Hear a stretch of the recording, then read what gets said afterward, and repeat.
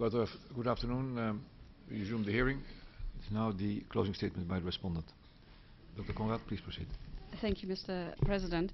Um, I made a joke over the lunch break that I needed to refuel, and I thought that was funny. My colleagues thought that um, I should not forget to include that I needed permission to restart, and that was now kindly given by our president.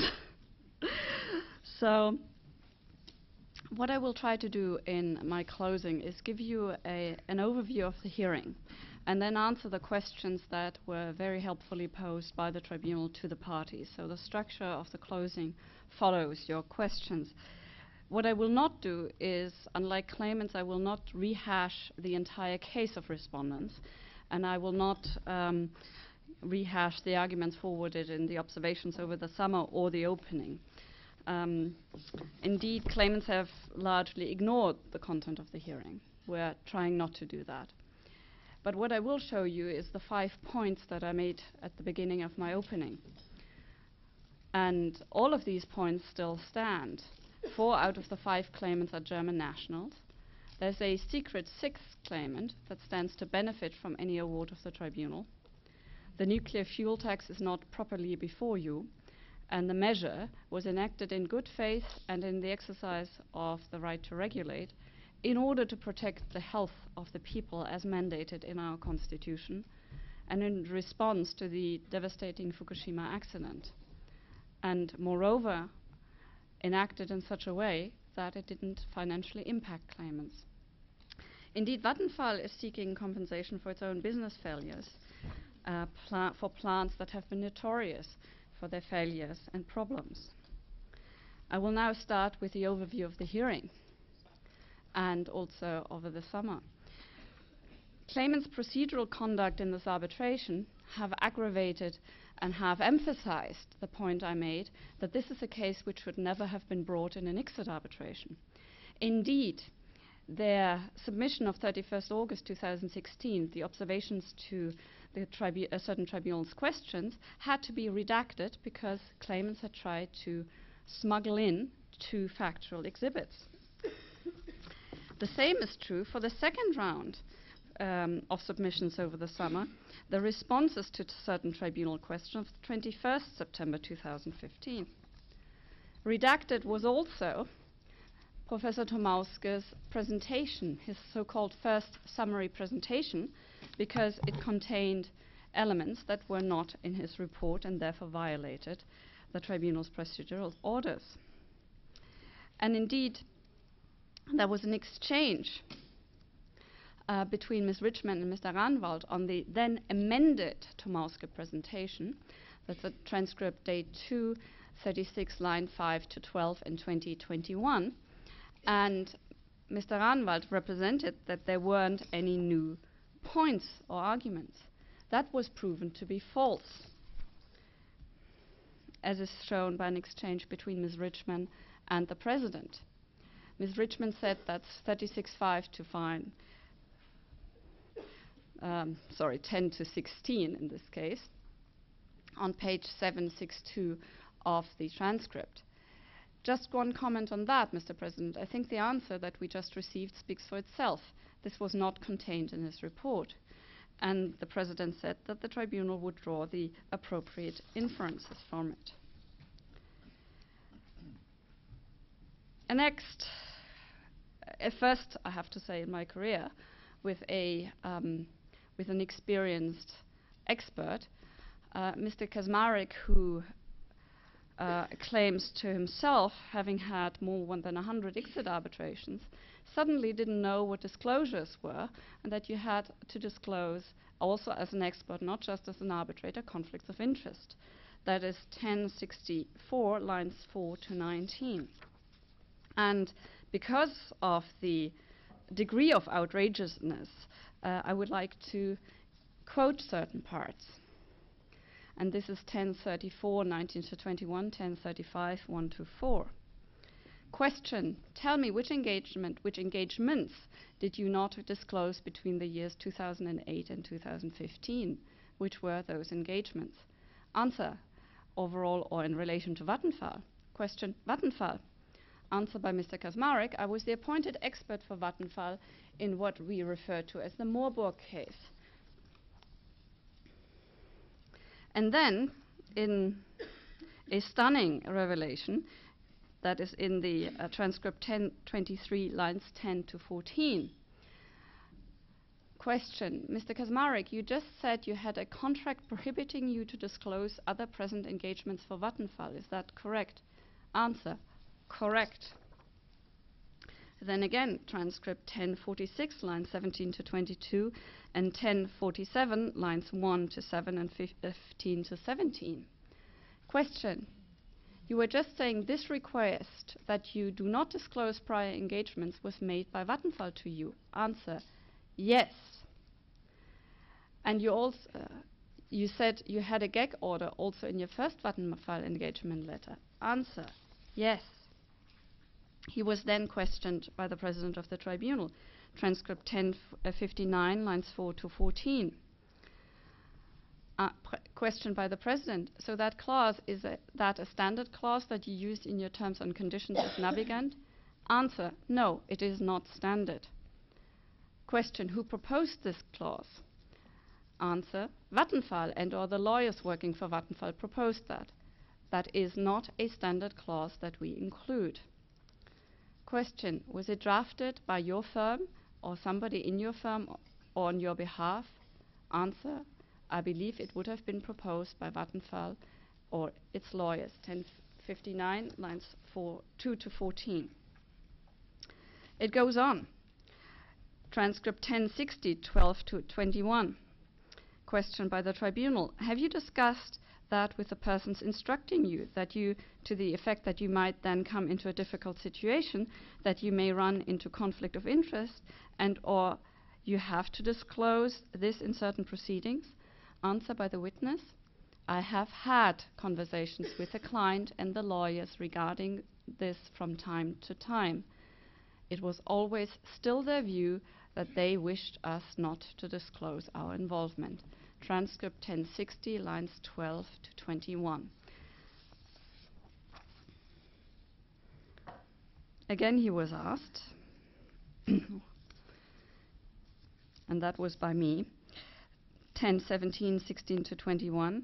So is it your statement that parties could, in an engagement letter, forbid you to disclose their, I mean, the prior relationships you had with them, not with third parties in an arbitration where you're an expert for them? Answer, yes. Well, any expert worth his salt or her salt should have either told the client, I will disclose, or I will not work for you under these conditions because my uh, duty as an expert is first and foremost to the tribunal and not to the party paying my fee. We had more things that were withdrawn or struck.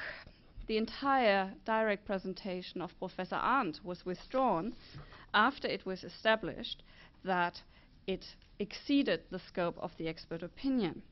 And you can see that at 1393, lines 7 to 14 of the transcript.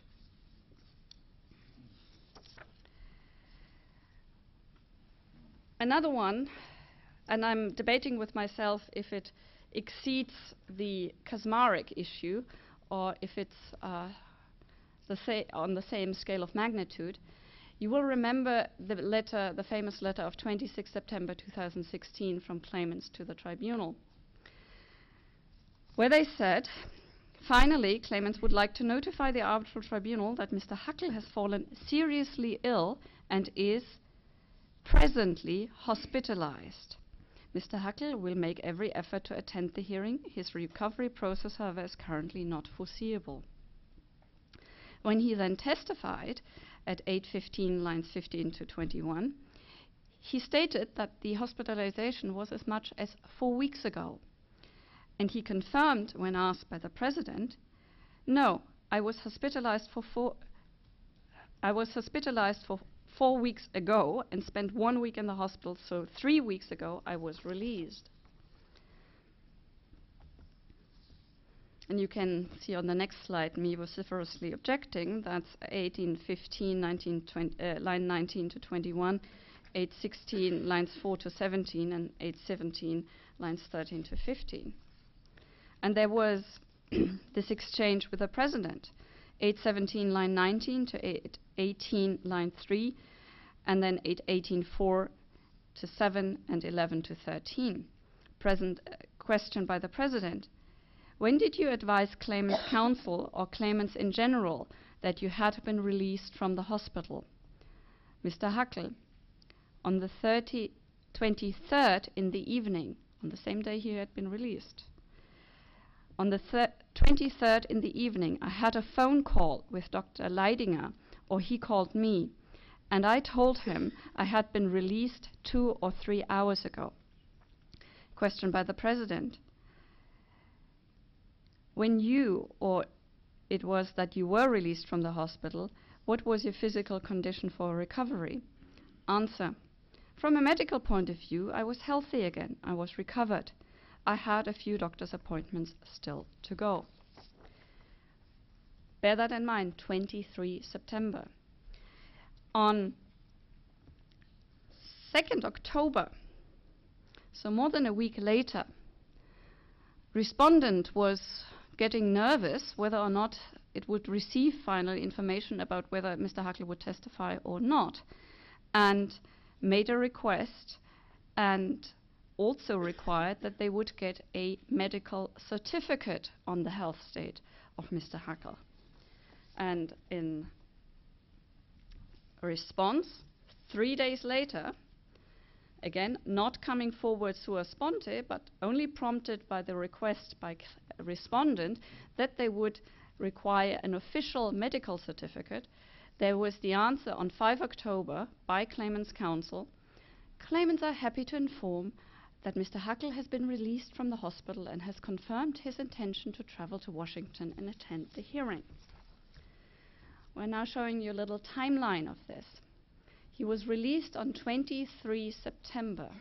It was not until 5 October, nearly two weeks later, and after prompting and the requesting of an official medical certificate, that claimant said he was released even if we were to assume that there was some kind of miscommunication within the Luther law firm, and Dr. Leidinger may not have talked to Mr. Happ, or there was something that fell between the cracks, that may perhaps explain the wrong statement, the misrepresentation of 26 September. What it does not explain is the long delay until 5 October. That pattern, that fact pattern, in my view, clearly confirms that the letter of 26 September was not an innocent misstatement, because any ethical lawyer would then have corrected that misstatement as soon as it came to his attention, rather than concealing by silence the fact that he had been released.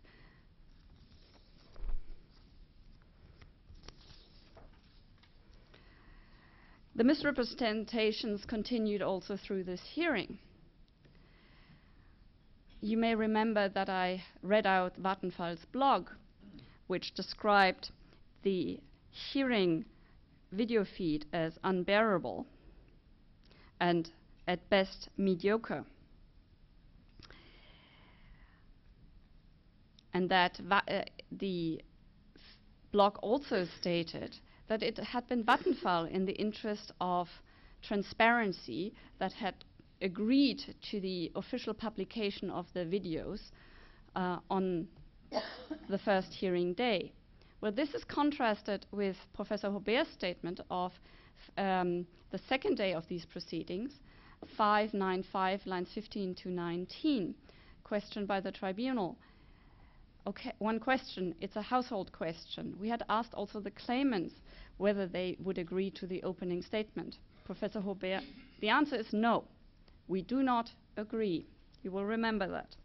And you will also remember this morning that I had requested a copy of the blog in time to be included in the closing submissions and made an application which the tribunal has granted.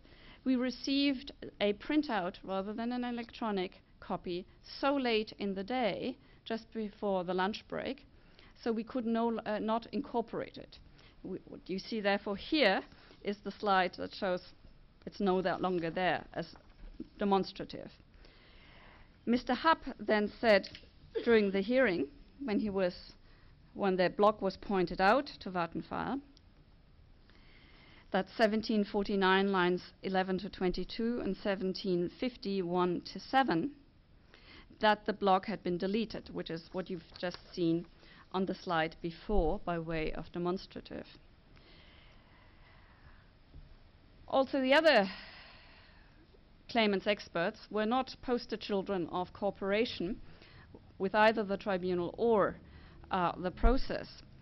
And you can see snippets from Professor Dolzer's cross examination, and that starts at transcript 1464 and goes on to 1456.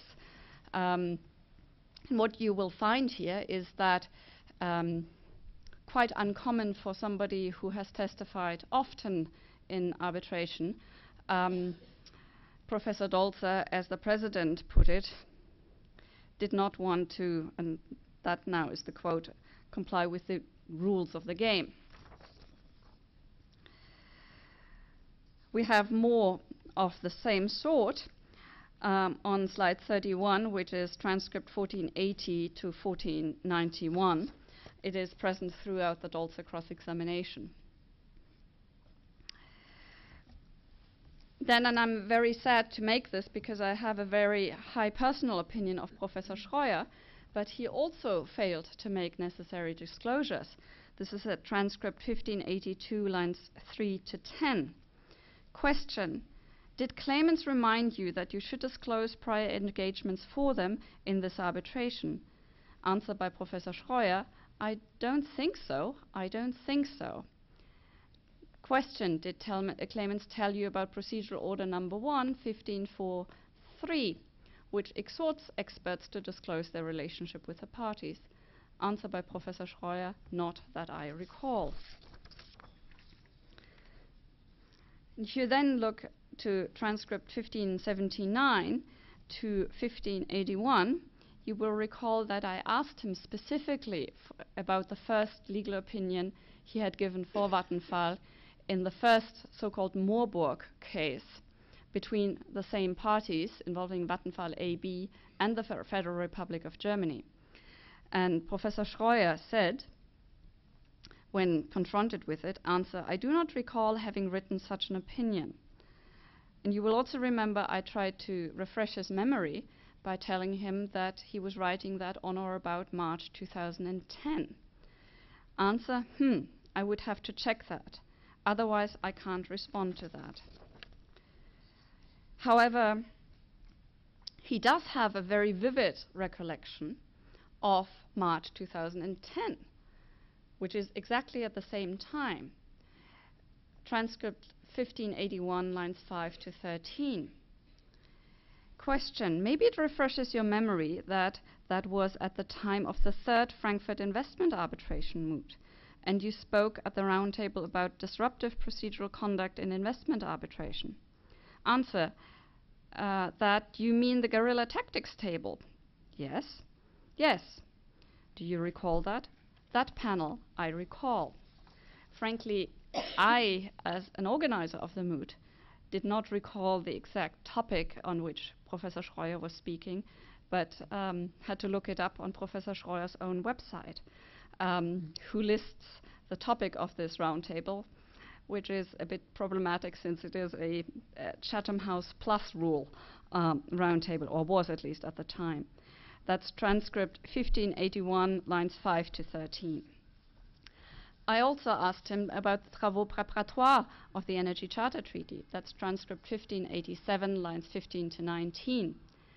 And he answered, the travaux préparatoires to the Energy Charter Treaty are available only to states. I then put it to him, that's transcript 1588, lines 6 to 15.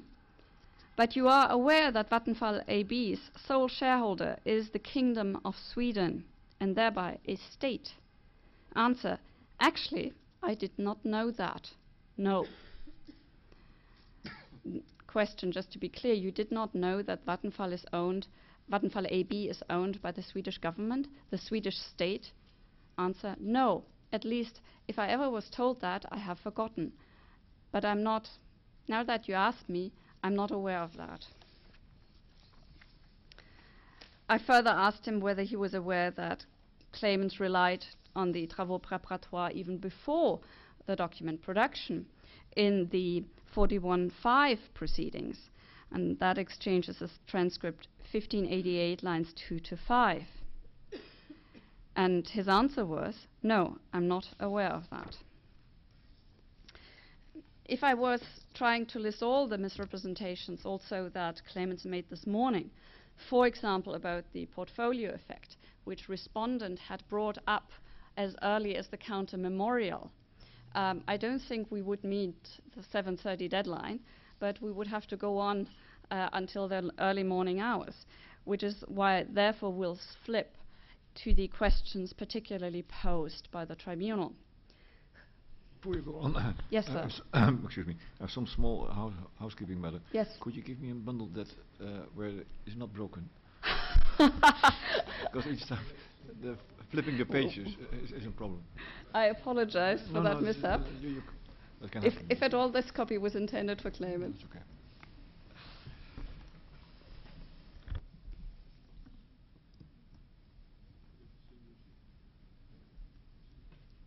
Grauer seems to have the same uh.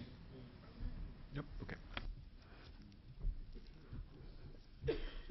Well, Staples' quality is not as mu- as good as it was, apparently. Let's go to the investor and the investors, and uh, the investment and the investments. Uh, so we're going to answer questions two and three together.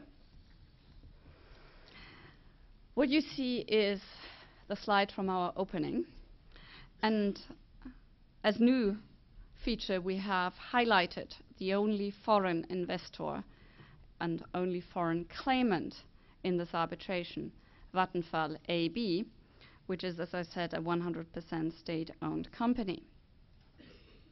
It has a chain of subsidiaries in Germany, and you've heard our arguments that they were formerly under a control agreement with Vattenfall AB, which was then dissolved during the course of the arbitration. And through these subsidiaries, it holds shares in the OHGs, the three OHGs. And it is respondents' very firm view that the investment that Vattenfall AB and actually claimants collectively, and I will address 26.7 in a moment, only half are 66.67% in Brunsbüttel, 50% in Krümmel, and 20% in the Brokdorf OHG, which bears with it the contracting relationships between the OHGs and the parent companies by which the profits, the cash flows from the OHGs flow to its shareholders, which would be those shares. What is not an investment is 100% of those plants, only the respective shares.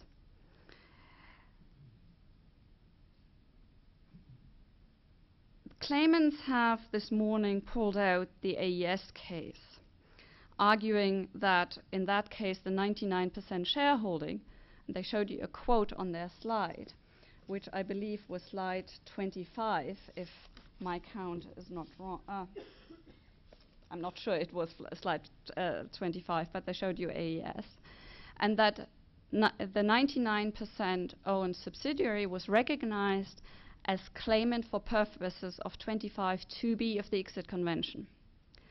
What they didn't tell you was that the tribunal in AES did not find any breach.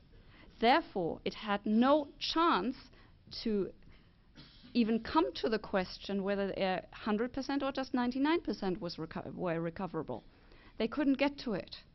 And therefore, the representation that Mr. Happ made this morning that AES, without any uh, mention even, accepted that you could claim for 100% is absolutely false. He also said that at transcript 2491 in line 5 it follows that he or his team had reviewed the list of ECT cases on the website and did not find any other cases involving locally incorporated claimants. On that, he's right. So there is no single case in which ever an ICSID, sorry, an ECT tribunal has assumed that a locally incorporated company could claim for any financial interests of a domestic partner. There is no single precedent, precedent for that. And indeed, what was transpiring from the opening, claimants themselves weren't quite sure what their investment and their investments were. And I recommend to you the um, transcript 4317 to 21 and 45.8 to 46.1. They were referring back to Mr. Kaczmarek and said they would come back to that in the closings. Now coming to 26.7. And the President highlighted at transcript 2494, line 4, it follows that claimant's case because of the claims on through the OHGs, through the OHGs, which includes E.ON interests, hiked their damages claim, as Judge Brower rightly pointed out, by nearly 100%. So what you see indeed, and we have established, and I think this is for once undisputed between the parties, that 26.7 of the ECT only applies to ICSID and ICSID AF arbitration, not to UNCITRAL, not to Stockholm Chamber arbitration. In claimant's case, this means that depending on the choice of the investor in which forum to litigate the case, the damages could vary between 2.7 billion in UNCITRAL or SCC and 4.5 billion in ICSID. that is certainly something that I don't think that the drafters of the Energy Charter Treaty had in mind.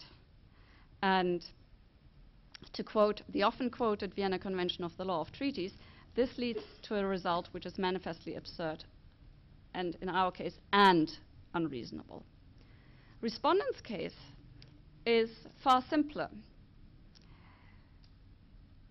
ICSID may have its advantages in the area of enforcement, in the area of annulment.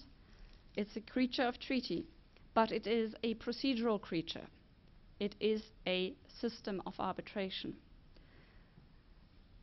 The end result of having the same case applying either the ICSID convention or the UNCITRAL and SCC rules in terms of the amount of the award, in terms of the findings as to which standards have or have not been violated, and as to the definition of what is an investor and an investment should be identical. And as you know, following the exhortation of the Vienna Convention, we can look at additional means of interpretation. But let's first start with the classics. Let's look at the wording. It's pretty clear it has an express scope of limitation to 25.2b for the purposes of 25.2b of the ICSID Convention. It doesn't mention, it doesn't apply or alter the substantive provisions of Part 3 of the ECT. The only thing it provides for is that an investor falling with its ambit has standing. And you can see that I've put out the text again, which shows that the reference is limited to jurisdiction for the purposes of Article 25.2b of the ICSID Convention. Also, in its systematic position, it is positioned in the part dispute resolution, not in the substantial provisions, not in the definitions of investor.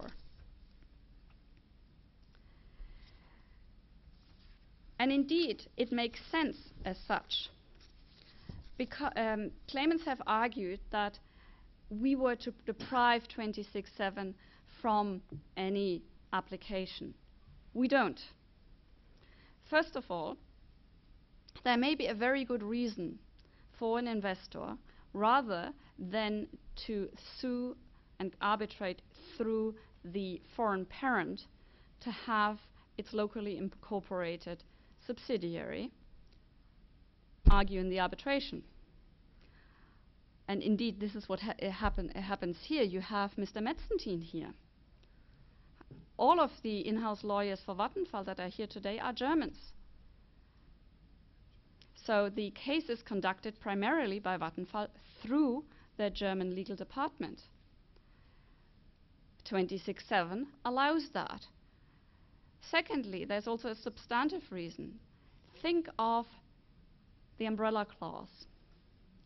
And as you're aware of, 10.1 has a rather wide definition with, uh, with an investor or an investment. Other treaties don't have that, or they have formulations like with regard to an investment. And there's always the dispute can a parent company base an umbrella clause claim on a contract concluded between the subsidiary and the host state? And we've seen cases where arbitrators have said no. The combination of 10.1 with an investor or an investment and 26.7 avoids that pitfall because if you have the two provisions read together and you have both the parent and the subsidiary in the ICSID arbitration, the scope for a respondent to argue, well, this contract is with a non party to this arbitration and therefore doesn't fall under the umbrella clause, is gone. So, indeed, in respondent's case, there is a very valid ground for having 26.7 in the ECT. Let me look at the travaux préparatoires now. And you've heard Mr. Happ saying, well, that's not worth it. Uh, it was a multilateral negotiation. We don't know what happened. Well, we have, first of all, um, it's them that try to argue that 26.7 should have a meaning beyond its meaning. We don't. We just want to apply the meaning. So it should be, the burden of argument should be on them, not on us. But if you look, what happened was the original draft for 26.7 had a similar mechanism to what is in the Chile Argentina and sorry, in the France Argentina and in the Bolivia Chile bit, meaning it says shall be treated as an investor of the other contracting party. Arguably, also this draft of the Energy Charter Treaty had already the limitation for the purposes of Article 25.2b. So the risk that this could be read as a definition of investor was already mitigated. But the German representative, and you see the footnote 17, and uh, for reference, that's Exhibit R208, he said a reservation as an indigenous investor should not escape national jurisdiction via the charter mechanism. He made a warning there. And what followed was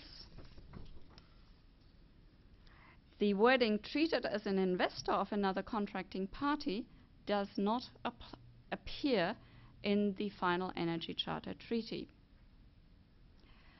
Prima facie, I would say, this is probably taking care of the German reservation in order to get Germany to agree. There may have been other reasons for that too, but what is important is that the wording treated as an investor of another contracting party, where one contracting to be contracting party had said flag warning this could be misunderstood. This offending text is no longer in. And I've shown you this already in the opening, the comparison between 26.7 of the ECT and Article 1.2c of the France-Argentina BIT. And the definition of investor, as you know, in 1.7 of the Energy Charter Treaty has nothing about the foreign controlled local subsidiary. It just says organized in accordance with the law applicable in that contracting party. Whereas the France Argentina BIT says Le terme investisseur désigne, the term investor means or is defined as les personnes morales, juridical persons, effectivement contrôlées directement ou indirectement par des nationaux de l'une des parties contractantes, controlled directly or indirectly by nationals of one of the contracting parties. Here, it's the definition of investor. This is not the mechanism that the ECT employed. You will also remember the exchange I had with Professor Schreuer, transcript 1633 17 to 22 and 1634 1 to 5. And I said, before he makes comments on Quiborax, which he said he discovered only two weeks ago, he should perhaps read the treaty to put his reading of the award into the proper perspective. And the exchange that followed was 1634, 9 to 20, and 1635, 11 to 22. The president asked Professor Schreuer, Do you agree with the description of Article 1 of the BIT by Dr. Konrad? Witness, uh, sorry, Professor Schreuer as expert. Frankly, I do not think that the description of Article 1 of the BIT in Quiborax is particularly rele relevant to the point I made. President, excuse me, this was not my question. My question is, do you agree with the description of the text of Article 1 by Dr. Konrad? Professor Schreuer, I would have to check the text. And then I qu again questioned him. Professor Schreuer, would you be surprised that in addition to a procedural clause referencing 25.2b, the Chile-Bolivia Treaty also includes the same mechanism as the France-Argentina BIT, including the definition of investor, a locally uh, incorporated company controlled by investors of the foreign party? Answer, I would not be surprised. No. Before you move on, um, can I, I, check that my understanding is right? Uh, aside from the wording of 27, uh, 26.7, you're saying it makes sense in two contexts. One is that the lawyers for the local subsidiary can appear and present the case, but presumably that could happen anyway, uh, just by them turning up and defending the case. So that's not really a, uh, anything of great weight. And the second is that uh, the local company can be regarded as a party to the proceedings in the event of certain defences being raised in the context of an umbrella clause claim. Uh, are there any other instances where it might have effect, or is that it? There could be others. Um, the one that came to my mind, which I didn't want to mention uh, straight away, was because it could cast doubts as to whether that is conduct that the Energy Charter Treaty really wanted to condone, was that if the locally incorporated subsidiary is the party, the cost award, the adverse cost award against that claiming party, would only affect the locally incorporated su subsidiary, but not the parent company. So uh, most respondents would obviously um, retort by a security for costs application. Right. There's another one um, that arguably, you could say, if you have a change of foreign control. Let's suppose you have a foreign controlled subsidiary that is a party to the ICSID convention, which is uh, controlled by the Swedish company A. The Swedish company A then sells its shares to the Indie subsidiary, to the Swedish company B, or even to the Czech company C. If you have just a subsidiary, which remains to be foreign controlled by a member state, another contracting party of the Energy Charter Treaty, that could, and I'm speaking as a lawyer and I'm not speaking on behalf of my party for future possible arbitrations, that could have the effect that the claimant subsidiary, the local co- uh, company, could continue to claim, whereas if the parent company is a claimant and sells its share to company B, there would be an objection raised. You are no longer holding the part. You are, you are the party, but you have sold it. And then you have the whole discussion about if you sell the investment after the commencement of the proceedings, is that just a crystallization of damages, and so forth. Is there any sign anywhere in the Travaux preparatoire of any of these questions having been in the minds of the uh, delegates to the drafting committee? I've not seen them. Um, I'm, and I'm, I wasn't talking about the travaux préparatoires in this regard because our travaux préparatoires inquiry was on the wording of um, 20 uh, 26.7, which excluded the treated as investor part in its final form.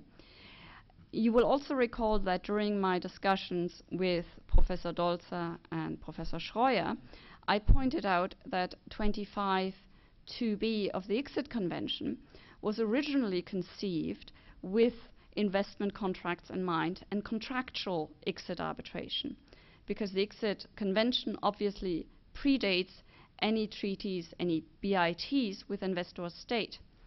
And 25.2b enables contracts with the local subsidiary to be within the ambit of ICSID per se.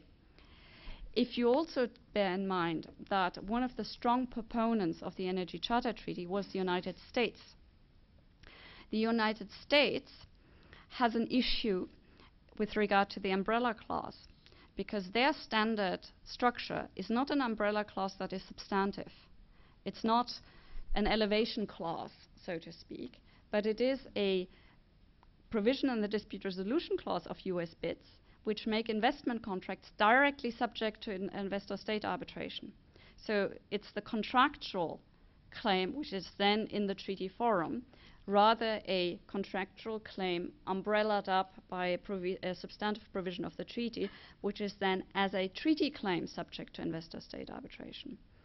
So if you look at 10.1 and its concept of the umbrella clause, and if you look at the inclusion of 26.7, what you what I think I'm seeing is, completely irrespective of this arbitration, is traces both of the American tradition that conceives umbrella clause claims as procedural investment uh, contract claims that need to be dealt with in the dispute resolution clause, and the continental European tradition of having a substantive law umbrella clause, which umbrellas up a contractual arrangement through and mirrors it into a treaty provision, which is then subject to jurisdiction as breach of the treaty.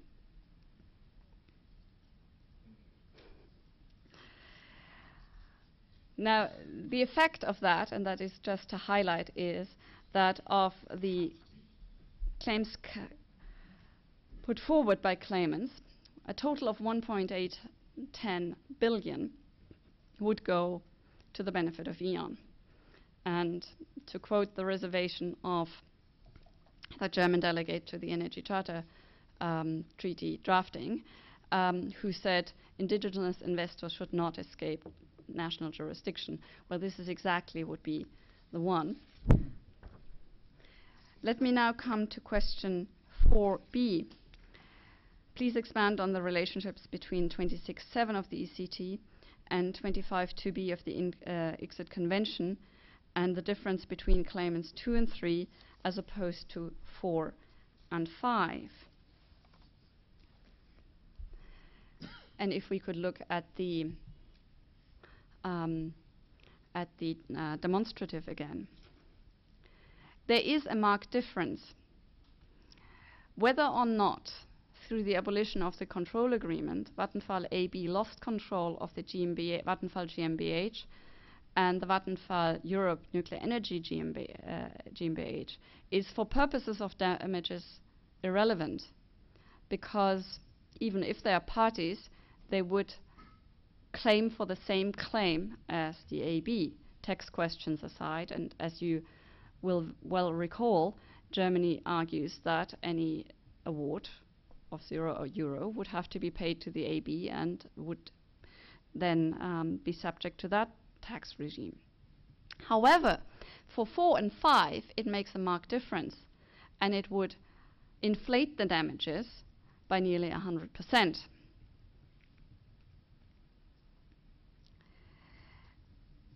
That is not what the treaty wants. Also, you've heard Mr. Happ say this morning that in transcript 2464, also unincorporated JVs can be parties to treaty arbitration, even if they don't have legal personality. And he wasn't sure which case it was and thought it was maybe Impregilo. There are two cases, Lesi and Dipenta, which show exactly the opposite. In Lesi and Dipenta, in the first arbitration, it was held that the tribunal did not have jurisdiction because an unincorporated consortium had started the arbitration. They had to start again, not as a JV, but as individual parties. There's another case, Consortium Economicus against the Czech Republic, an unincorporated Swiss JV, which failed to establish its foreign nationality, the foreign nationality of its owners. The claim was, because of that failure, deemed to have been withdrawn and costs were awarded against the claimants.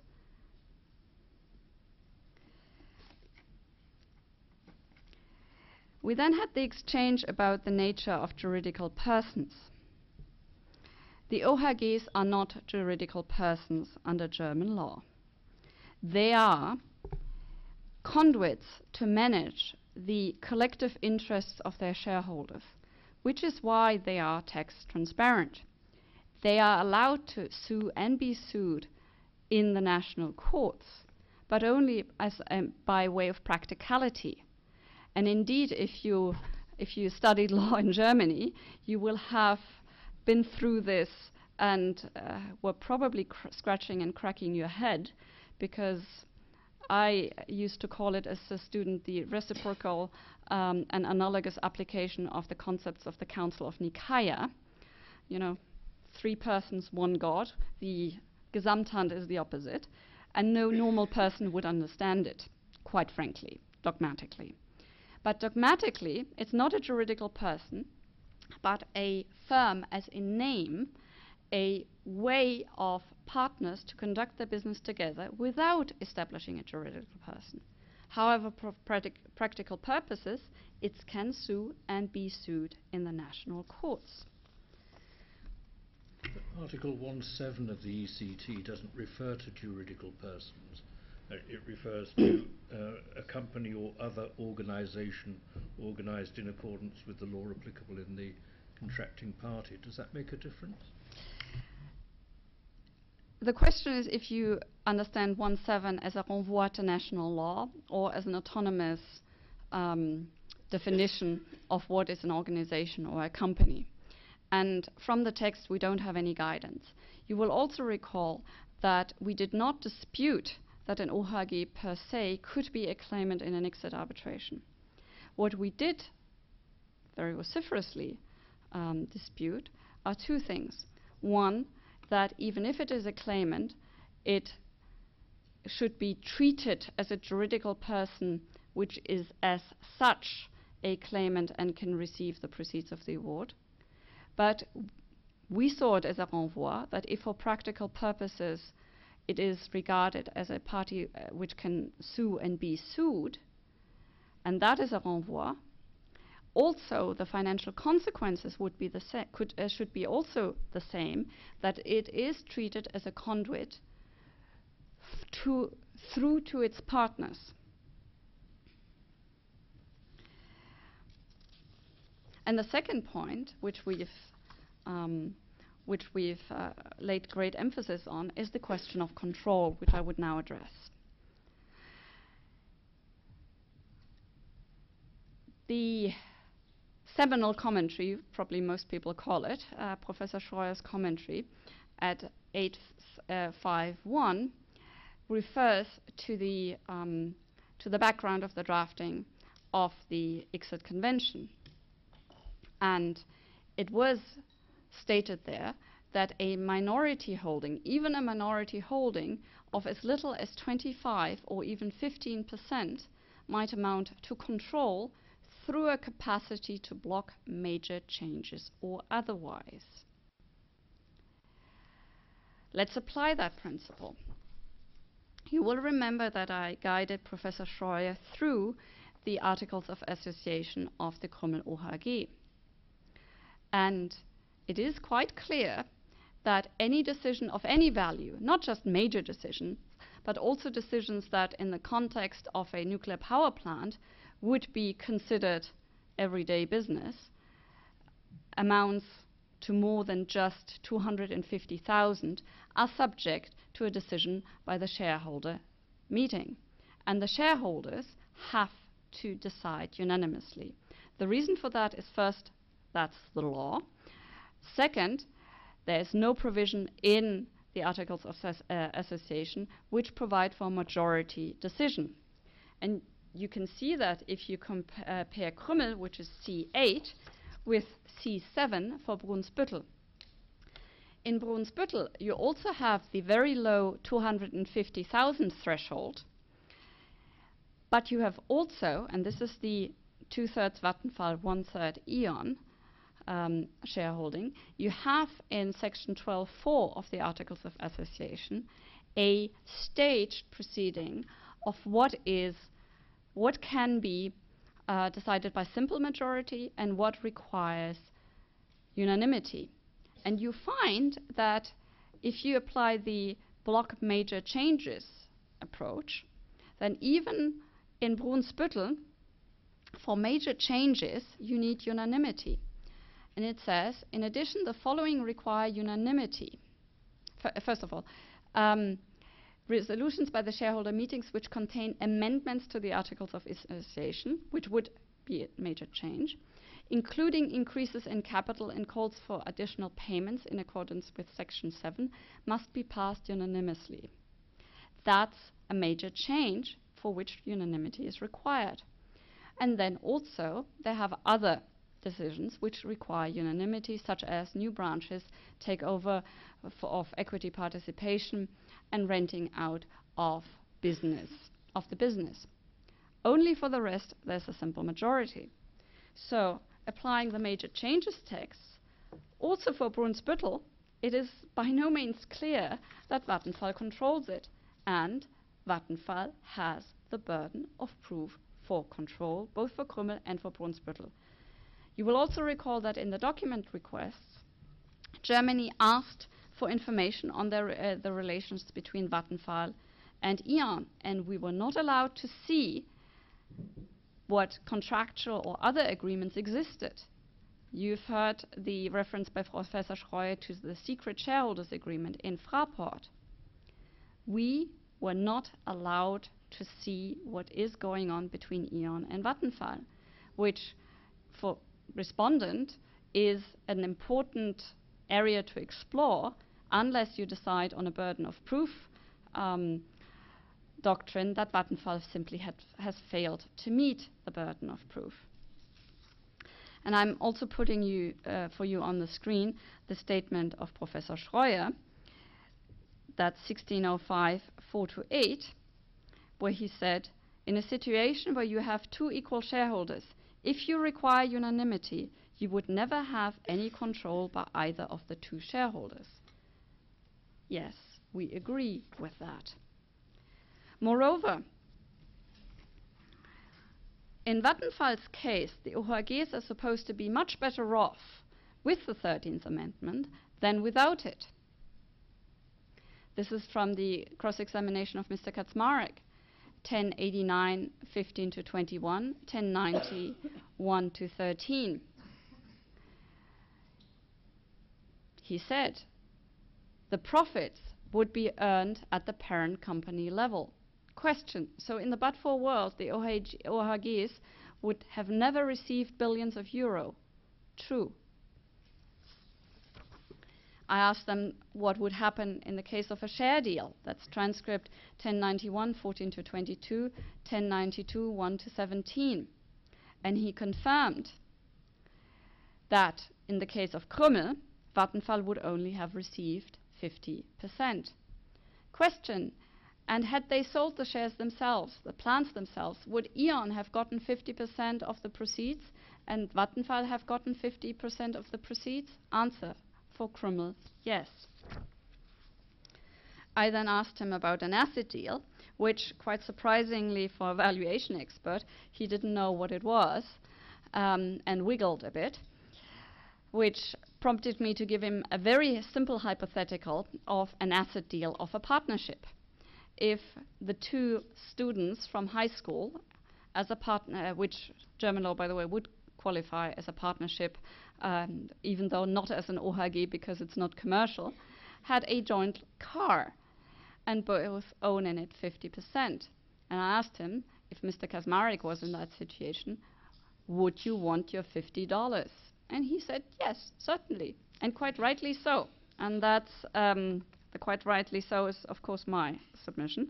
Uh, that's transcript 1093, 4 to 6, and 1095, 4 to 14.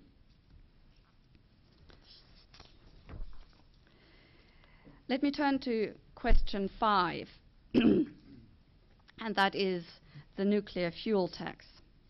And you heard Mr. Happ this morning state that there's a chance of it being reintroduced that's also again false.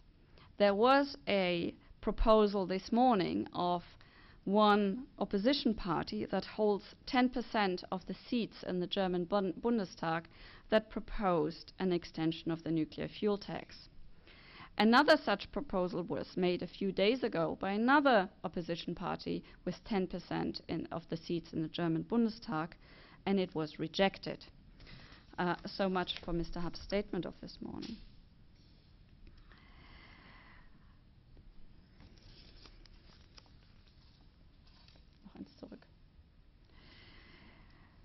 Now, Article 21.1 excludes all taxation measures as a general rule and has then very narrow exceptions for discriminatory measures and expropriatory measures and therefore no claims are allowed to be made on the basis of the nuclear fuel tax law.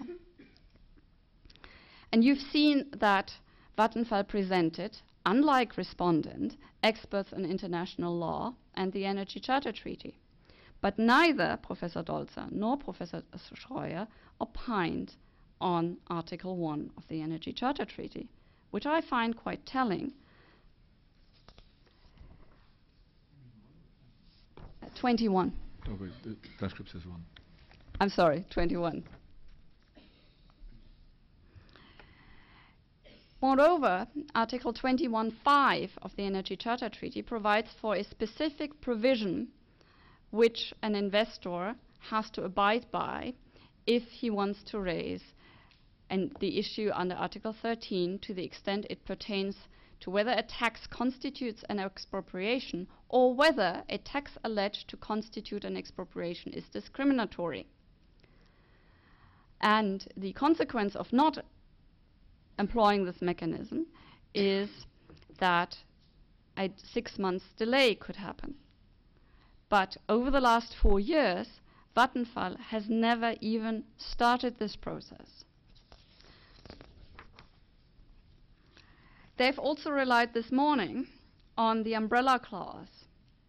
But the umbrella clause is not one of the exceptions mentioned in Article 21.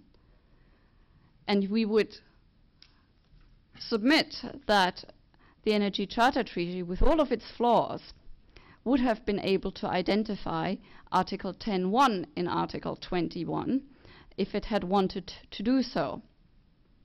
It is a different matter if you call the PCA uh, the PCIA or if you forget um, to mention a substantive provision you wish to have included.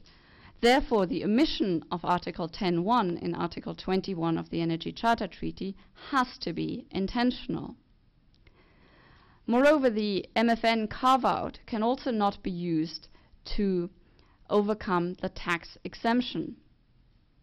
The narrow exceptions in 21.3 do not allow an MFN of a BIT which provides for full treaty protection in the area of taxes.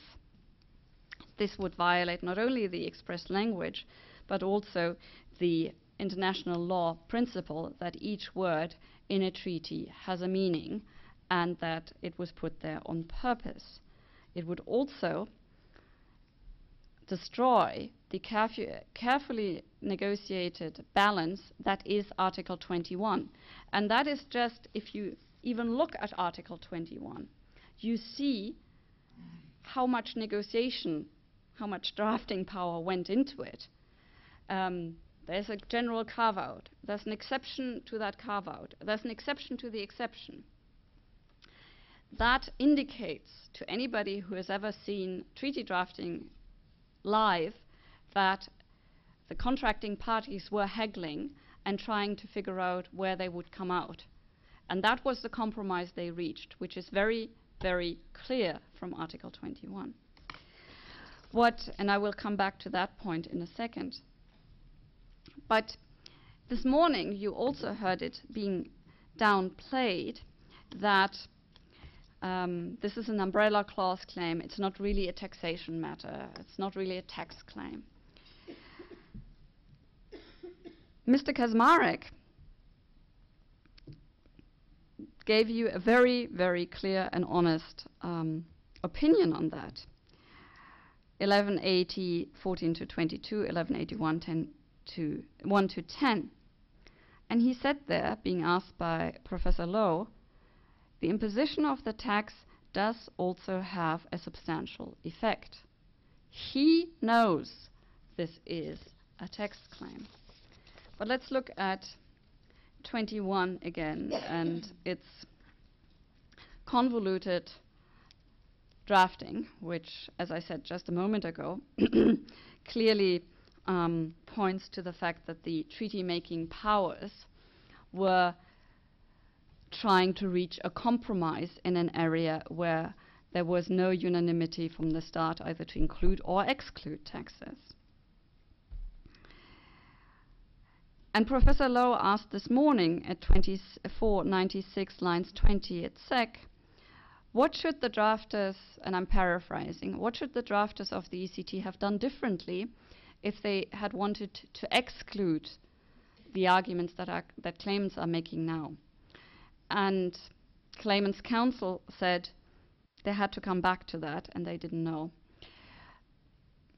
I have looked into it and I've, I've tried to figure out what would I say is a treaty making power, what could be clearer than Article 21. Provided that I had to reflect the um, the balance and the deal that the contracting parties had made with exceptions and exceptions from the exception. And I could not come up with anything. The best I could up, uh, come up with would be a sentence. Footnote the pa uh, contracting parties record their understanding that when we say nothing in this treaty shall create rights or pose obligations with respect to tax measures subject to the exceptions listed in Articles 21.3 and 21.7, we also mean to exclude clever lawyering and treaty shopping. Um, I don't think that outside EU negotiated um, treaty proposals you would find such sort of drafting because it, it would be highly unusual. But short of a this is our understanding, please exclude also abuse tribunals and um, uh, I couldn't come up with anything else. Article 21, in my opinion, makes it very clear what the contracting party wa parties wanted, and that is certainly not for what it's used to um, by claimants. Claimants were also asked at transcript 2508 by the tribunal whether they were MFNing in a uh, dispute resolution clause. And the answer was not the dispute resolution clause, but all substantive provisions from other treaties that grant protection also to taxes. That's a two pronged thing because I agree it also MFNs in dispute resolution clauses that also cover taxes. Because 26.1 of the Energy Charter Treaty says breaches of this treaty, violations of Part 3. So, in addition to getting uh, rid and getting over 21, you also have to get over and expand 26. Um, what I would describe as creation of jurisdiction for taxes ex nihilo, um, since I've been religious already this afternoon, um, but it actually does violence to the uh, treaty. This is not a normal MFN situation. And we've all heard and were privy to, and we may agree or may not agree with the um, cases on MFN saying that they have to be in like situations, or that while you may strip from a dispute resolution clause certain certain uh, limitations, such as a requirement to go to national courts, etc., but that you cannot go beyond the scope and create jurisdiction where there was no jurisdiction. Here, we have an attempt by claimants which goes even beyond that because it creates jurisdiction where there was no jurisdiction and protection where there was no protection against the explicit statement of the contracting parties. Even if you take a pro MFN, pro investor approach to MFN, this is a bridge too far. Um, the MFN bridge will not hold that, uh, that crossing. And um, on this chapter, I can conclude with a, uh, a, graphic that you've seen almost four years ago. Um, and that shows, just in relation to the Thai BIT, which claimants have relied on, um, they're not trying to get the same treatment that a Thai investor in Germany would receive. they are trying to create a super BIT, a super BIT of a sort that no contra- uh, Germany never contra- uh, that no contracting party of the ECT ever contemplated, because they're cherry picking from this and there and everywhere, rather than leveling up to the standard of treatment enjoyed by another investor under another BIT. It's one thing to say, we have a BIT here and we have a BIT here and we're leveling it up. But it's n- and MFN can arguably do that. But what we're indeed seeing is you're not just leveling up to the level of the other BIT, but you're leveling up and beyond that level. And that is something which is problematic. And you can continue the game ad infinitum. So the other one, the BIT from which you pick the cherries, that investor will say, well, hang on, you've created the ECT plus my treaty to get a higher result. Now, I want the same. And they are leveling it up and uh, picking cherries from yet another treaty. And uh, you will have something which, as such, had never been concluded by the contracting parties.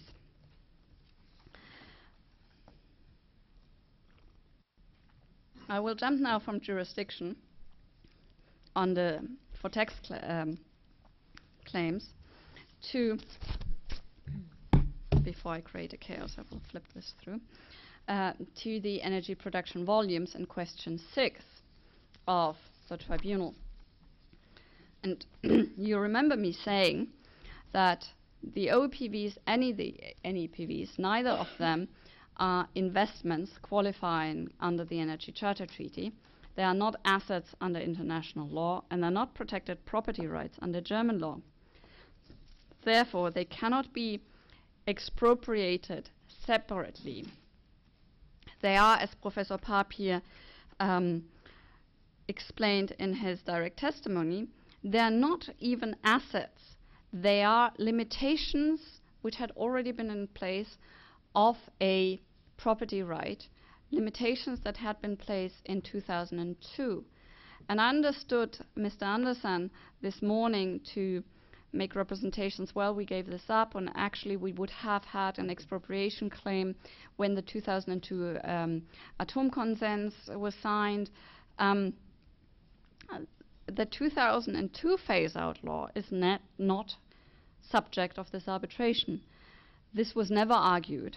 If this is an attempt to amend the claim, claimants should say so, and in which case we would obviously object because this is doing this on the last day of the merits hearing of after four years of arbitration is somewhat late in the day. And I have included here now uh, from page 30 of Professor Papier's um, legal opinion. And he said that the electricity production volumes are not independent, economically valuable legal positions that are protected as property under German constitutional law. He said that again during his direct testimony, that's 23, 79, 20, and 21. The residual volumes are, upon my opinion, not independent property positions. And he explains that. That's 2382, 14 to 18. The Federal Constitutional Court only protects such property when they are property of an individual, that's when they are based on essential work of an individual. That sounds very much like legitimate, uh, like investment-backed uh, uh, expectations if you put it in the parlance of international law. And lastly, when they're also there to assure the existence of an individual. You've heard this morning during the opening, and that was a transcript 2474.14. And I quote, uh, before I quote, I would want to say that on our slide we have um, redacted the portions of numbers um, of the documents which were shown to Professor Papier um, on Wednesday because we understood that during his cross examination, claimants pushed the button to exclude the public. So we wanted to avoid that the public be excluded from this part of the closing and therefore have redacted the uh, information which was evidently deemed confidential by claimants. Claimants did not push the button during their opening when at 2474 at line 14 they said, We have shown to you during the cross examination of Professor Papier that the volumes can in practice can and in practice were transferred and sold for considerable sums of money and the parties considered them rights. So that sounds the representation of their cross examination sounds as if they were actually asking questions and were getting answers. But what really transpired was that he was, uh, Professor Papier was made to read very little numbers, which I, I was surprised he could read because I, being several decades younger, had issues reading them. And you can see that from my redirect examination, which was also cut by claimants from the public record. Question, Professor Papier, you were shown sheets with a lot of little numbers. Answer, yes. Question, are you an economist? Answer, no. Question, are you a professor of law? Answer, yes. And then no further questions. And indeed, I have to say, sitting there, uh, and I was getting, uh, I was getting agitated because I found it tremendously unfair to have him just read out numbers into the record. and I joked with my co-counsel, I bet now they will say no further questions, and that was indeed what claimants, what claimants did, which you will have seen me giggle uh, before I started my redirect. This was indeed the most absurd cross-examination I've ever seen in any arbitration, commercial or treaty. But Let- what's your best explanation of why it is that a permission to produce electricity, which on your case is worth millions of euros, and which can be sold to someone else, should not be counted as an asset? Not everything that has value is an investment for the purposes of um, investment backed expectations and for the purposes of expropriation or FET. And also, you could even um, draw a distinction between the definition of investment, any kind of asset under the Energy Charter Treaty, and the legitimate expectations, investment backed expectations, that you need both for expropriation and for FET. Because when you say legitimate expectations, tribunals have rightly held that those must be investment-backed arbitrations, um, expectations. So, and we'll come to that later, in the context of the NEPVs, no investments were made in reliance. They were ephemeral um, windfall profits which were then taken from them. For the OEPVs, I don't think the question is relevant because the legislator, quite carefully in its exercise when deciding the phase out, structured the phase out in a way that whatever the OEPVs were, they were taken into proper account. But what Professor Papier said on that topic was that it wasn't investments which got them the OPVs, but indeed they were the expression of the shutdown of the plants, a limitation of property. Had, had a company introduced an exit arbitration on the basis of the 2002 phase out law, and by the way, you remember Professor Papier told you that uh, because the Atomkonsens is not binding, um, such a such a uh, constitutional complaint or an exit arbitration would not have been precluded by the statement of the energy companies in the context of the t- Atomkonsens that they would not go to war for this. But that shows to you they weren't given them as property rights and assets to use, but they were already a limitation of property. And if a stage limitation um, is implemented, to turn that into an asset that's capable of the protections of the treaties, I, I, I find that is, and I, uh, Professor Papier has a certain dogmatic disquiet with that, and I have to say I share this disquiet. Um, but also for the OEPVs, also for the, for the OEPVs, they're not capable of expropriation. For the NEPVs, that's even clearer because they were given to them in the public interest of securing energy production and uh, a longer lead time for the exchange towards renewable energies. And lastly, assets, property. Property is something which is inherently defined by law. And that is what a treaty finds. And I believe uh, there are also decisions to the effect that if national law doesn't recognize an asset as a property right, it cannot be a property right for a treaty that's building on it, um, even though the concept of investment is an autonomous right, a definition. Have I answered the question? I have a follow-up question, if I may. Yes? Um, without the uh, OEPVs granted to Krümmel, and assuming now that Krümmel still could could uh, operate, OEPVs or NEPVs? OEPVs. OEPVs. Um, if it could technically operate, and also from the permitting point of view could operate, if it had no OEPVs, it could not produce. Isn't That is true. So It could purchase electricity volumes from from other plants, Exactly, but that, uh, yeah, But part of its, of the part and parcel of the, the, the pl- this plant was that it had O- OPVs. Sorry, if you could repeat. Part, part of the NPP Yeah. being Krümmel, it had OEPVs. Yes, Without it, it could do nothing, or go buy, buy from others.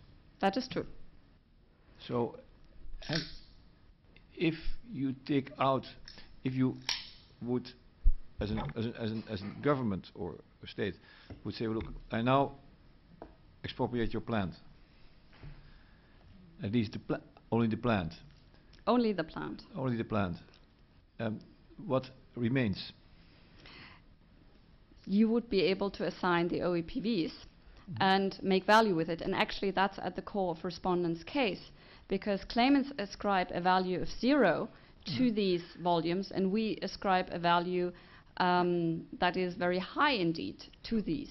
And I ask you the question for the purposes of, of, of seeing whether or not within the description or definition of expropriation in Article 13.1.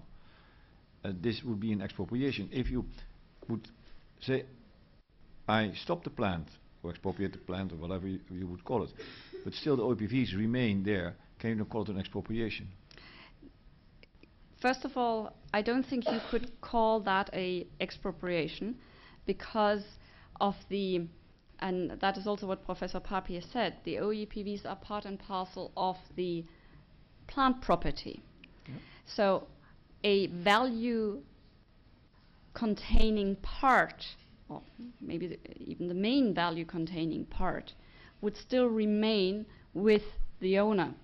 And therefore, we would not exceed the threshold of a substantive deprivation um, for a taking under the Energy Charter Treaty.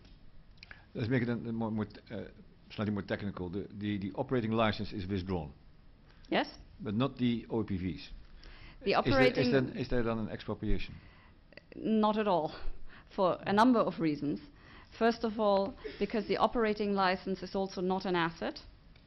It is a public law uh, permit, which also is based on the fact of, say, reliability. And such permits are withdrawn every day in Germany, not for nuclear power plants, but for the, um, to use a Czech term, kaczma, uh, for a bar uh, if there's a um, lack of reliability. That is not an expropriation, and that would actually be under the police powers doctrine. That it, this is not an expropriation. We have a question on that later on. Okay. Please uh, move on to question seven. Let me. T-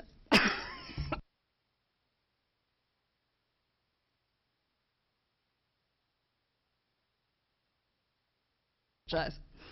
Um, at least I have hop- hop- uh, hopefully not offended David's ears and switched off the microphone quick enough. Question 7. As a factual matter, did the return to OEPVs after the 13th Amendment, combined with fixed final shutdown dates of nuclear power plants, and 3. Does clo- uh, the closure of a number of nuclear power plants result in the OEPVs becoming valueless on 6 August 2011? Let me first dispel a myth from Clayman's opening. And I wasn't quite sure if this was the exchange of emails or memos that claimants referred to earlier during their opening. They showed you on slide 68 of their opening exhibit C147. And they said this was evidence that the state knew that the OEPVs could never be used up. This is false because that document relates to a different draft of the law, which was never implemented in practice. So it is, it is quite misleading to quote it in the context of the 13th Amendment. You also heard this morning that claimants argued that the Ministry of Environment didn't calculate the uh, effects of the shutdown dates. The opposite is true, and we've submitted the documents which evidences the calculations as, at, as R141.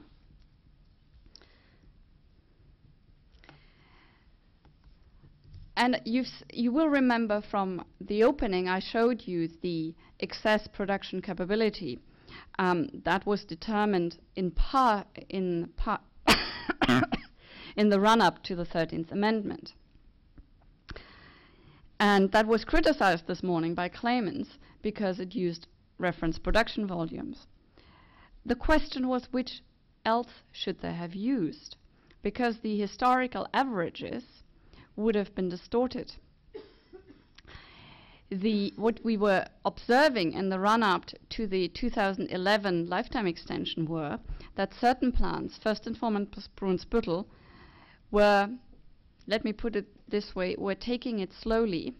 So they would still have OEPVs by the time the hoped for lifetime extension would happen. So they would be included and could be shut down shortly after, and the new volumes could be commercialized. Therefore, using real data at that time, at that time in 2011, would have be problematic because those would have been figures that were manipulated by the plant owners. Moreover, as you've also recall from the opening, the 13th Amendment had a security margin of 16.181 terawatt. You will also recall from the opening that I explained to you why certain plants, in particular Krümmel and Brunsbüttel, had more residual volumes than the rest, and that was caused because of their own standstills. What claimants are trying to get in this arbitration is they are trying to be compensated for the fact that they had, through their own fault, more residual volumes than others. They were, they want, in essence, financial compensation for the standstill times of the four years of the Krümmel and the Brunsbüttel plant. Moreover, there's also a slide evidencing that E.ON, the co-investor who, in accordance with claimant's case, would enjoy a windfall profit of 1.8 billion, would be able to absorb the OEPVs of Vattenfall. It is, by the way, also not true that Vattenfall lost all of its plants. Still um, continues to operate Brokdorf. And I showed you also in the opening slides evidencing that for each operator, except for E.ON, who lost four plants, no more than two plants per operator were shut down um, in the immediate aftermath of Fukushima. I move now to question eight. Assuming that the OEPVs had value on 6 August, did they become valueless at a later date? And if so, what are the consequences? It is clear after the experts have all been heard that, of course, they have a value. And that value can, of course, be determined. And I will show you in a moment that Mr. Kaczmarek's um, in well, actually one of the later chapters, that Mr. Kaczmarek's um, refusal to calculate the value is in stark contradiction to his own approach to the valuation of the plants themselves. He argues that because you could perhaps only sell the volumes in the future, they have no value today. On the other hand, when confronted with the, um, the statement that, well, on your valuation date, there was no buyer and no seller willing to buy a nuclear power plant for any amount of money after Fukushima. He said, well, but that's just on that date, and later on somebody might want to buy. Um, he seemed not to feel that inherent contradiction. Also, if you look at the values attributed to it, there has to be a balance between a buyer and a seller. It's a meeting of minds, and therefore it would be unfair, as Mr. Kaczmarek does, to attribute 100% of the benefits of the sale to the seller. If that's the case, nobody's going to buy. You have to have a a balance between the interests of both, which determines the value. And Ms. Harden explained that at 8.4, 24, and 8.4, uh, 21. Um, and actually, I wanted to uh, reserve this for later, but I think this is a good point to uh, mention. Um, Mr. Hobert this morning argued uh, that Ms. Hardin's approach was, and he used game theory in a derogatory way.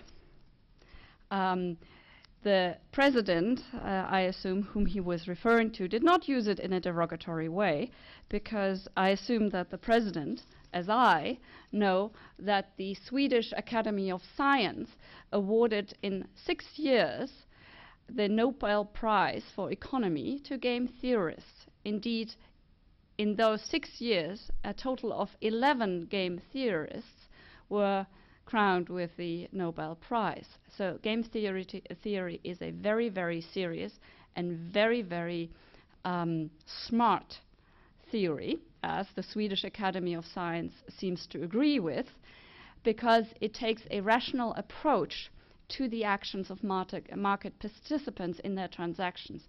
And the balance that um, Ms. Harden projected that you have to balance the economic benefits between the buyer and the seller is exactly a the outcome of the game theory because both market participants act rationally. Moreover, Vattenfall understates the Brokdorf demand. You will remember the question of the president in the opening to claimants, and that was page 162, lines 20 to 22. You just said that Brokdorf will run out of its production volumes in 2019. Could it then not buy production volumes from what is the other one, Krümmel? Answer Professor Robert. They are indeed, well, yes, that's a possibility, I suppose. I'm not quite sure right now how that has been factored in by Mr. Kaczmarek in his calculations, so I think we will have to consult with him to come up with an answer. Yes. Um,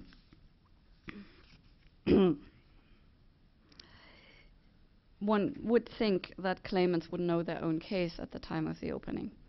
The other point is that this morning during the closing, the point was made oh, what if, if uh, a year before the uh, hard shutdown date, you need to do a core refueling? That was an argument that was uh, coming up this morning by claimants. You will also remember that at the, uh, in the opening we saw a very long film a promotional video by Vattenfall. And there was the statement that annually, together with a revision, a sixth of the fuel elements are routinely exchanged. So you will never have the situation that you will, at least according to Vattenfall's promotional video, that you uh, that you have an you know completely depleted like a battery core, and then you need to refuel all of the re uh, fuel elements. But what they explained their own practice is that you have one sixth per year. So this argument that this would obviate the Brokdorf demand for the years 2020 and 21. And I would now turn to question nine and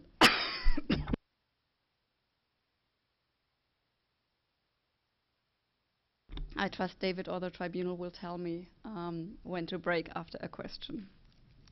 See what the, what the uh, number of minutes is that you have.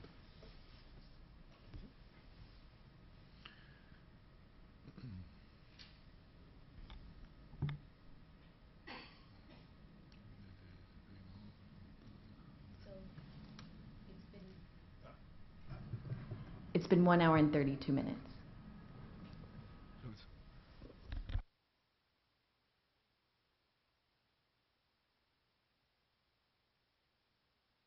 Does that include the tribunal's questions? That because I think that's from start to end and including tribunal questions and not pure. You're uh, right. There's, please subtract five minutes for tri- tribunal questions from that. I, I have the That minutes. short. That's right. 87 minutes, so uh, you're not yet uh, at, at half of it. Good. Then I will continue. Yeah. Question nine. And that is the question about the sole effects and the police powers doctrine. As I said a few minutes ago, police powers is well established in international law. Respondent has never disputed that. What we have said is you do not need it in our case because there's a threshold issue both for the so-called sole effects doctrine and the police powers doctrine, and that is you have to have a taking. In the absence of a taking, both theories come to the conclusion there's no expropriation and you need not investigate further. It is obviously within the powers of this tribunal to decide that they wish to apply the police powers doctrine if they wish to do so. I'm now showing you a few slides to which I will not speak, which I, uh, but to which I spoke to in the opening, all to the effect that the threshold for taking is a high one and requires a substantive deprivation, in fact, some awards say annihilation of the value of the investment. I also mentioned already during my closing the portfolio effect. claimants this morning were trying to say, well, the, it's the nuclear business and then they have some other businesses, etc. That is not true. Vattenfall has an energy business, an electricity business. And although, and that was Mr. Andersson speaking to slide 62 of their closing pro- um, presentation, 2586, line 6 at SEC, that it was not, and I quote, in his expertise to to assess what the potential benefit of the 13th Amendment was. Well, we have spoken about the mechanism which provides for the potential positive effect throughout this case. It's called the merit order. And that also responds to a question that Professor Lowe had during claimant's closing. What do you do if you keep Krümmel on the net? Do you have too much energy? Bear in mind, Vattenfall, and I showed you this figure during the opening, has 92% of conventional um, electricity production in Germany, which are on the merit order to the right side of nuclear energy. So, if you put one nuclear plant more on the net, you push out, sorry, you bring up the merit order to the lower um, to the lower uh, cost nuclear plants, which means that the conventional plants, lignite, steam coal, gas, will not be benchmark setting. So if you have Krümmel on the line, by effect of the merit order, Vattenfall's lignite plants or coal plant, uh, steam coal plants, depending on where demand is, would make less money all electric- electricity production methods are interlinked. If you, and I said that in the opening, if you put your plug in the socket, your iPad doesn't care if it's renewable energy, coal, nuclear, or somebody on a bicycle producing um, electricity. It's all the same kind of current. Therefore, respondent had early on in the counter memorial pointed out that claimants bear the burden of proof of showing that in their submission there was no positive portfolio effect, that they as a whole suffered a loss or an impact. They never did that. We're now at the end date of the oral hearing after four years of arbitration, and they have not even started quantifying a portfolio effect. And now it is too late. And I felt very vindicated because we had made the point about the portfolio effect and the merit order since the counter memorial, when then Philip Morris came out, which validated in paragraphs 283 and 284, L- Claimants Legal Authority 188, that in fact the portfolio effect was important. You will remember I also sh- uh, showed you Chemtura, um, at the Lindane case in the opening. I will not go through that again. In order to meet its burden of proof, Vattenfall would have had to demonstrate that the 13th Amendment caused a complete destruction or virtual annihilation of its overall electricity investment. And as I said, it's electricity production. You may produce it through lignite or nuclear, through steam coal or water. It is the same business. But they failed to submit any evidence. Indeed, they, when we asked for it during the, um, the document production uh, phase, they refused to provide information on their portfolio. I would now come to question 10. What is claimant's position on the expropriation with respect to the NEPV of the Brokdorf plant? See reply memorial 473. I have to say I don't recall that claimants spoke to this issue during the opening. If I have missed it, I apologize, but um, it seemed not to, they seemed not to have answered this question by the tribunal. And um, my response to that is simply this is a question of the burden of proof and um, therefore claimant's problem. So that we can now come to question 11a. Accepting as a premise that respondent was entitled to change its nuclear policy so as to return to the OEPVs and to introduce fixed shutdown dates for each nuclear power plant, what should respondent have done differently according to claimants? For example, which plant should have shut been shut down instead of Krümmel? If none, how would the shutdown schedule have been met? The comments of claimants on that question were very, very, very, very short. This is slide 62 of their closing, the one I have referred to previously. They said no plants should be should, uh, shut down, um, but they didn't give any particulars about what length of shutdown dates would be required for Krümmel. Um, nothing on the schedule, and they refused, as I said, this was at 2586, line 6 at SEC, to even discuss the merit order.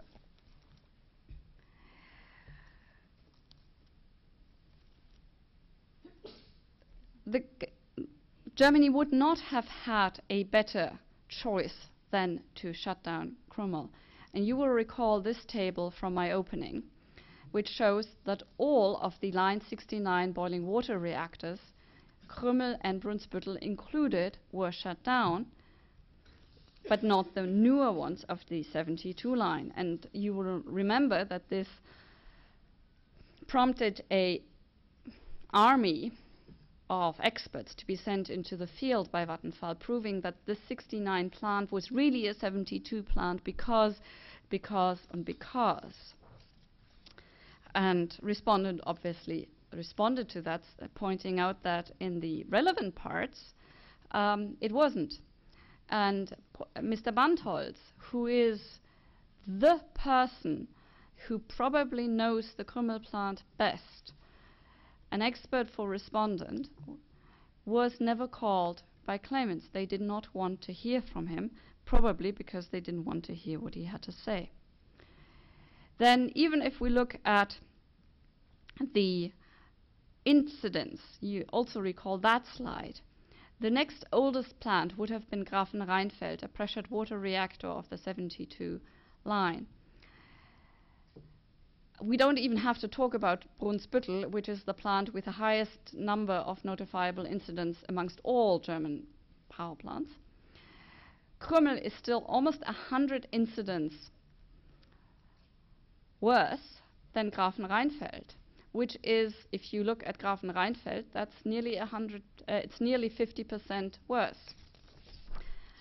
And o- another way to look at it is you also re- remember those graphs from the opening showing that Brunsbüttel and Krümmel fall well within the cohort of plants that were shut down, and that if claimant had had its uh, way, they would have fallen very obviously outside the cohort of those plants that would, were allowed to continue.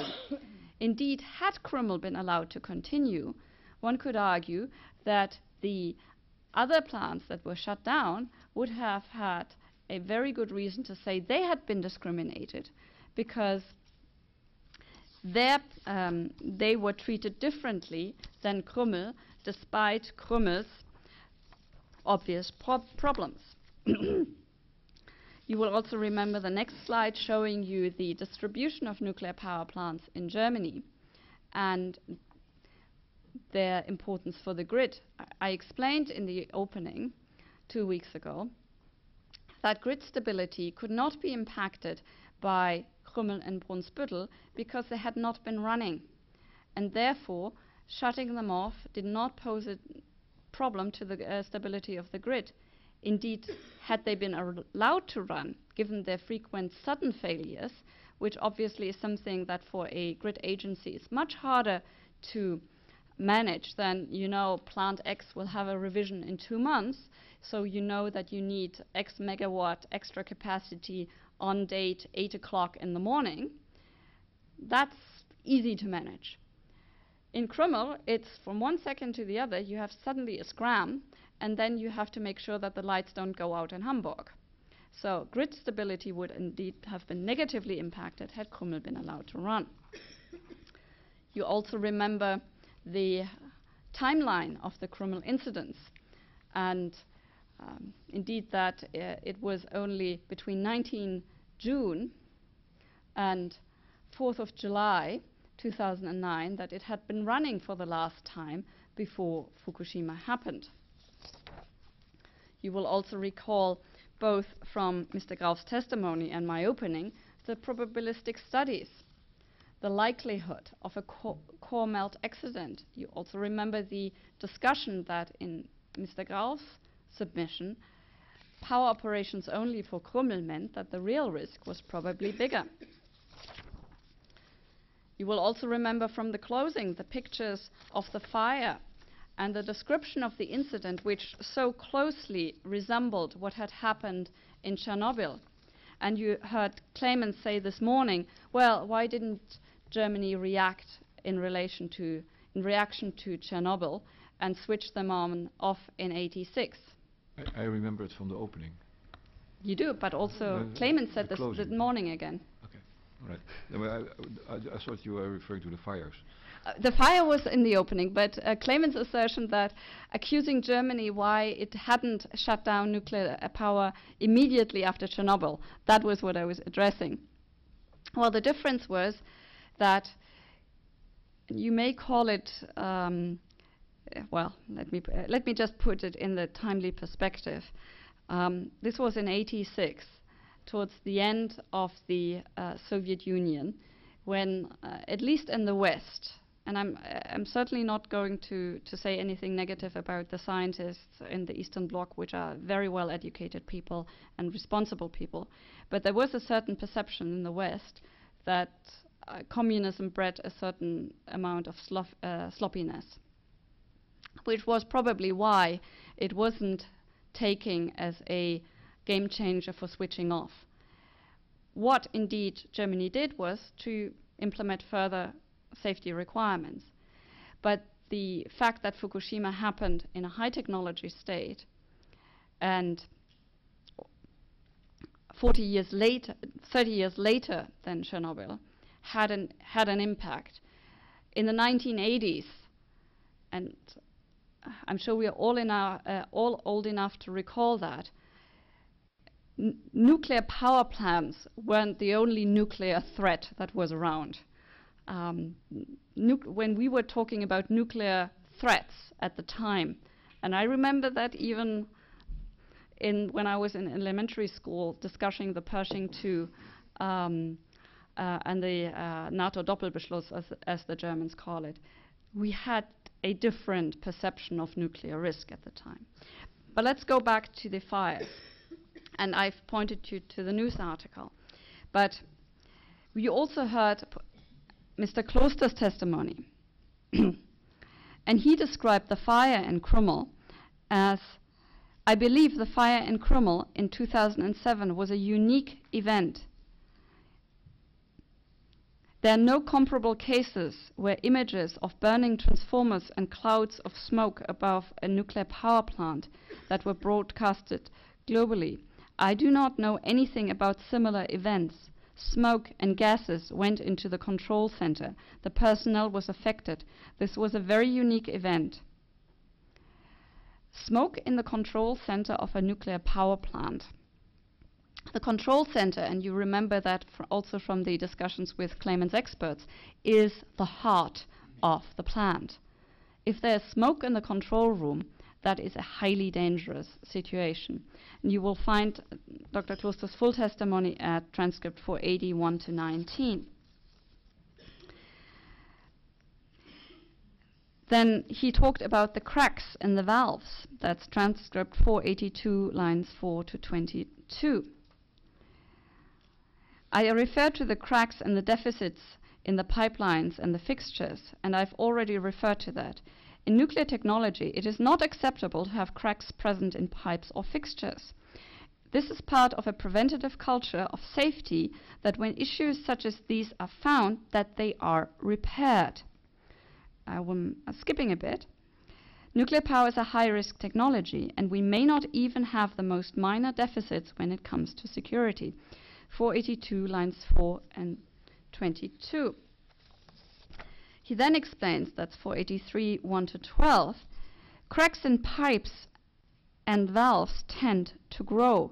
You are never sure how far or how fast these cracks can grow, and based on this, it is always necessary, if you find something like that, you fix the problems that you replace them to a safe condition.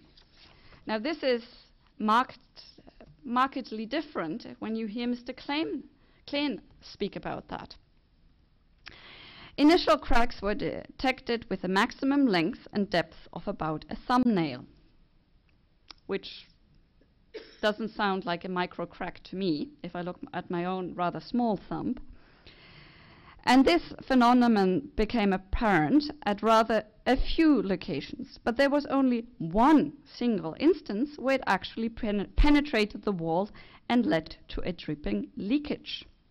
And then he complains the authority at the time forced us to take all of these welding seams, in total 64, taking them out and replacing them.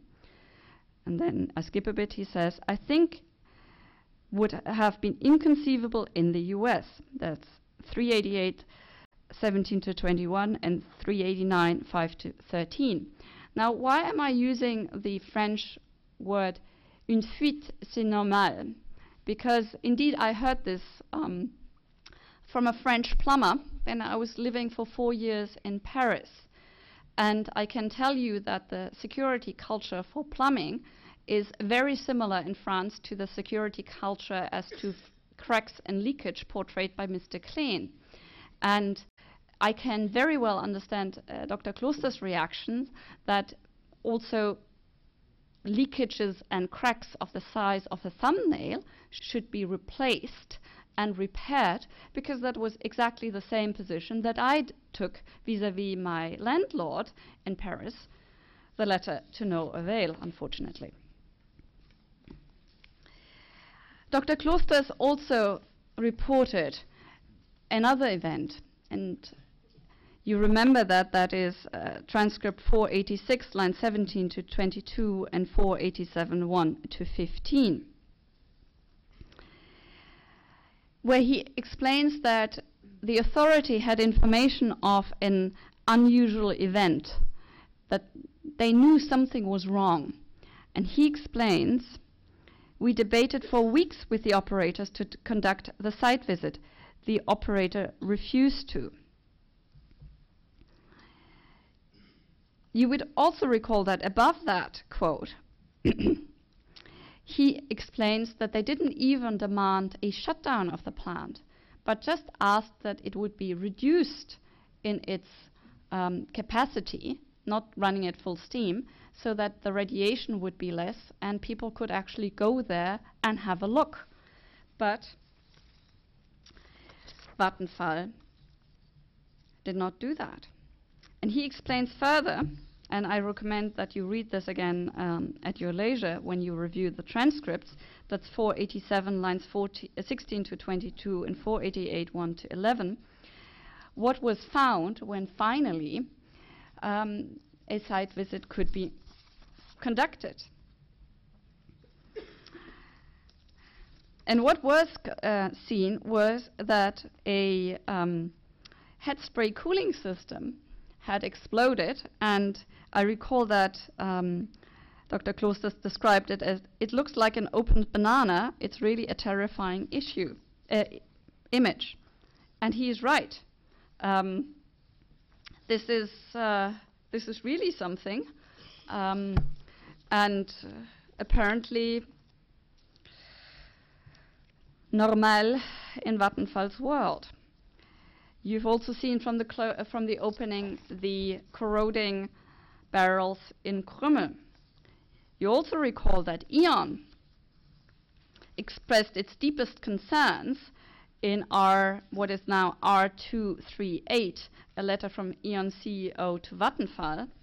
And then in the shareholder meeting, and again, I recall, I refer you again to C8, the Krümmel's Articles of Association, shareholders meeting has to be called if one shareholder wants it, and has to deal with all uh, things more than 250,000 and requires unanimity. And in a protocol to the shareholders meeting of 15 July 2009, R199, E.ON speculated if this was a matter of intent. Vorsatz, which is another word for sabotage. And Dr. Klosters also juxtaposed the safety culture in his direct in his testimony when asked by the tribunal of E.ON and Vattenfall. And this is a transcript 485 5 to 22 and 486 1. And he says there, on the one hand is the E.ON company. They are very preventative. They do a lot of preventative maintenance, and this meant that the plant ran without severe issues. On the other hand, in Vattenfall, it happened very differently. And he continues, 486, line 2 to 16. And looking at this, nobody was surprised that the plants run by Vattenfall had downtime or outages that were not observed at E.ON. I have for your reference, and I will not speak to them now, the excerpts of the Aftonbladet article in which the Deputy Prime Minister of Sweden and the Minister for Enterprise and Energy, that's what he was at the same at the time, of Vattenfall AB's sole shareholder, stated that the confidence in the company had been seriously shaken, and also that, quote, we don't want to risk our assets in Sweden in case of an accident in Germany, which was why Vattenfall AB dissolved the control agreement. In order to answer the tribunal's question 11a, claimants would have had to show, and they didn't, which other plant should have been shut down from a safety perspective. That this other plant, which should have been selected, would not have discriminated against the other boiling water reactors of the construction line 69. That this selected plant would not have affected grid stability. They would also have had to show when KKK would have been scheduled for shutdown and to whom KKK would have transferred unused vol- volumes. And also, and lastly and more importantly, that this alternative choice was so obvious that the choice of uh, choosing Krümmel instead over that other plant would have been so obviously that the legislator's margin of appreciation would have been exceeded. There is no such other plant. And actually, claimants in their closings didn't even suggest it because they knew they would fail with that argument. They just argued, well, let Krümmel run.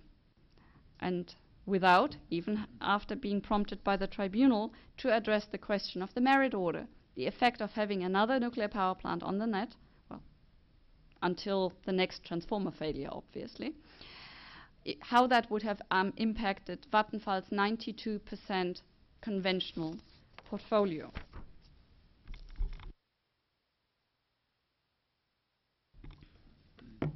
I would now turn to 11b, um, unless the tribunal or David would want a break.